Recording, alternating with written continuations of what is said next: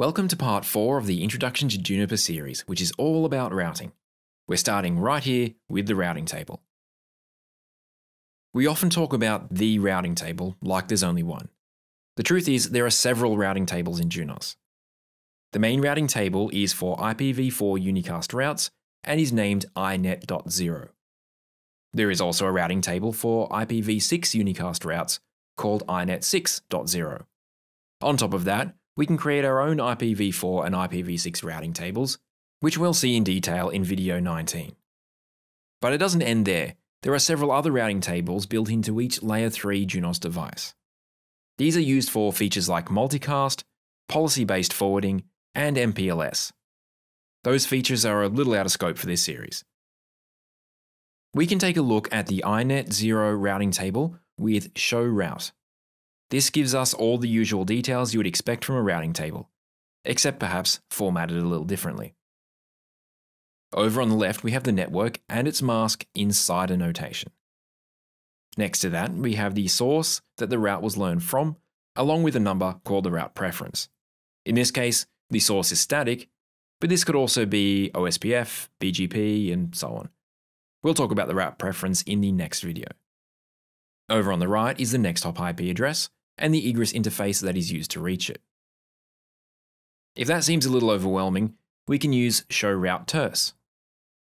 The A column is used to indicate if this route is active, that is, if this route is installed in the forwarding table. The V column is used with BGP. A question mark symbol here means that the route was not learned through BGP. The P column is the protocol code. This is how the route was learned, such as static, OSPF, or whatever. And of course, there's the next hop IP address. If we want to find which route will be used for a particular IP address, use show route terse along with the IP we want to reach. Junos will show us the route that will be used. We've talked about the routing table being separate from the forwarding table. Valid routes go into the routing table and the best routes are selected for the forwarding table. That means that if we have two identical routes to the same destination, meaning that one is not better than the other, they will both go into the routing table.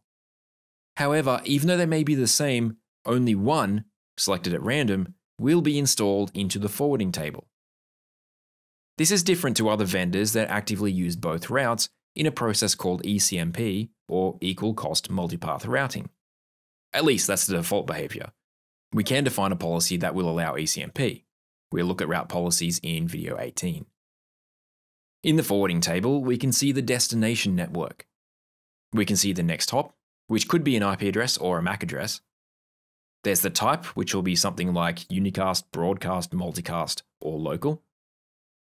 And we can see the egress interface, which may be physical or it may be virtual. Further down the table, we can see layer 2 addresses listed as well. The forwarding table is not just for routes, as you can see. The important part to notice is the egress interface.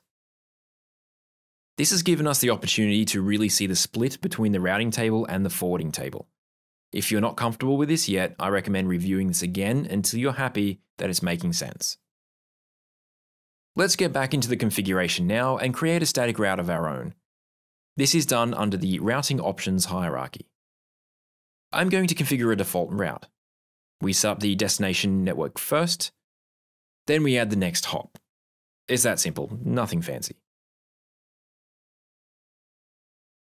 After that's committed, we can see this route in the routing table.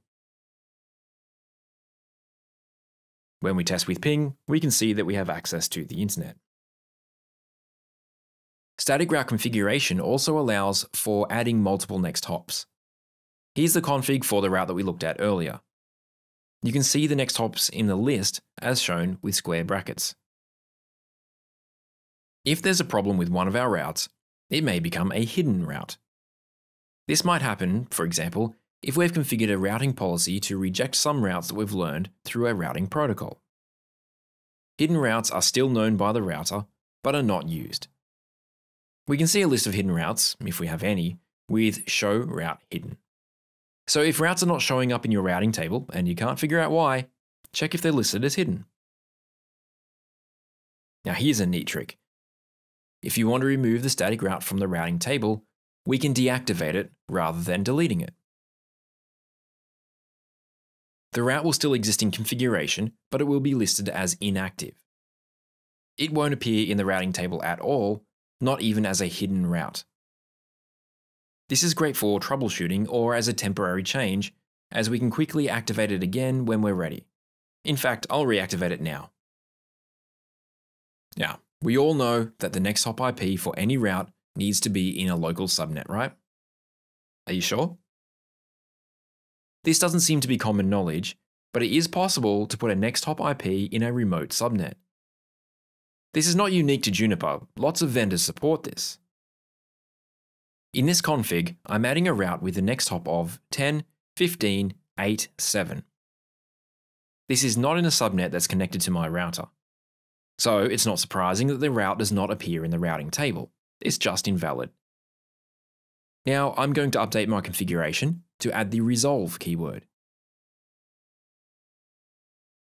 Looking at the routing table now, we get a different result.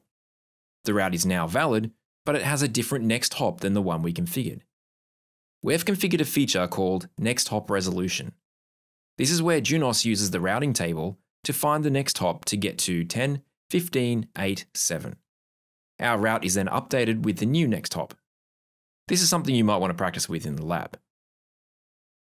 In past, you may have configured a null route. The example shown is for a Cisco IOS router. The two main uses for this type of config is to direct traffic into a black hole and to manually summarize routes. We can do the same thing in Junos, although the approach is different. In fact, there are two ways this can be done. The first is to configure a discard route. This is a regular static route, but with discard as the next hop. Any packets using this route will be silently dropped. The second way is to configure a reject route. This follows the same principle. The difference between them is the behavior when the packet is dropped. Junos will generate an ICMP error message and send it back to the source of the drop packet. When we look at the routing table, these routes simply show as reject or discard. We can't talk about routing tables without mentioning reverse path forwarding. This is a method of determining if a packet is valid or if perhaps it is coming from an attacker. This is the logic behind reverse path forwarding. 1. A packet arrives at the router. 2. The router looks at the packet's source IP. And 3. The router looks at the routing table to see if there is a valid route to that source IP. If there is a valid route, the packet will be forwarded as normal. If there is not a valid route, the packet will be dropped. The reasoning behind this is that there are some attacks that used forged IP addresses. If traffic is coming from an invalid source, then it has likely been forged. This is just one way in which we can improve our security posture. RPF operates in one of two modes strict mode or loose mode. When operating in loose mode, the source IP of a packet must exist in the routing table. As long as the route is there, there is no problem and the packet is allowed. In strict mode, the source IP of the packet must be in the routing table and the packet must be received on the interface that's used in the route. Do you think strict mode sounds better? Sometimes it is, but it's definitely not in cases where you have asymmetric traffic. That's when traffic might leave on one interface but return on another. So if asymmetric traffic is normal in your environment, loose mode is better. If symmetric traffic is normal, strict mode is better. The quizzes are really getting more interesting now, I'm sure you'll agree. A lot of this is covered in more depth in the lab that goes along with this video, which is available on the members section of the website. In particular, we get to see RPF in action. What happens if there's competing routes to go into the routing table? These are selected using the route preference, which you might know as administrative distance. Click the video shown here to learn about route preference as well as qualified next hops.